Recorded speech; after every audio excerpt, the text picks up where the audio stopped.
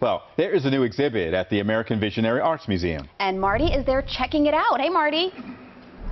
Well, hey, good morning, and good morning, everyone at home. Hopefully you're doing well. Jenenne Whitfield, Executive Director, Visionary Art Museum, and Becca Plum. We're going to talk about the educational part of this shortly. This is close to your heart. Tell them why. Yeah, I had an uncle who had Down syndrome, and because he was not allowed to be expressive, he came to a tragic end, and it was very unfortunate. And that's why I like the idea that Judith's sister, you know, went and, and rescued her and allowed her creativity to come through in these in these amazing works.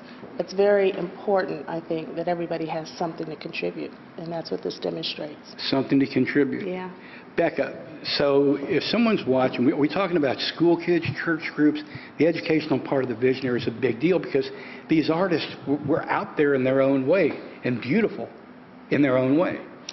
Yeah, we're really excited for students to come in and just take a closer look at Judith's sculptures, try and figure out what's inside, what's outside, and what she's trying to say with her sculptures. These are sculptures. You know, until you said that, I, I was just looking at works of art. They're sculptures. They are. They really are. Um, and what they really, you know, if you look closely at them, it just kind of made, gives you some idea of what might be going on within Judith. I have a message. I have something to say, and it's repeating over and over and over again.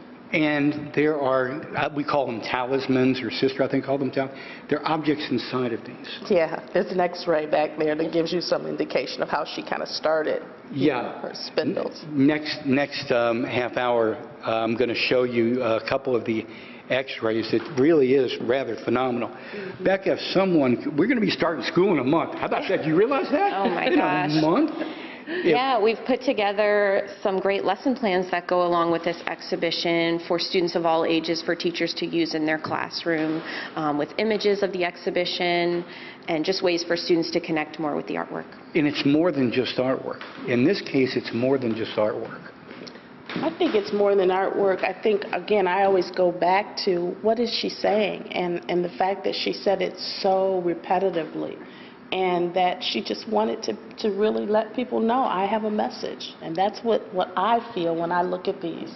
In the tease before the show, I read this quote from Confucius you have up here. Mm-hmm. Everything has beauty, but not everyone sees it. Hallelujah. She's awesome. Heavy duty beauty. Coming up next half hour, we're going to show you the x rays of these sculptures and talk more live from the American Visionary Art Museum. Becca, it's great seeing you. Thanks, Great seeing you. And thank you for inviting us Oh, back it's in. my pleasure. All right. We'll see you next half hour.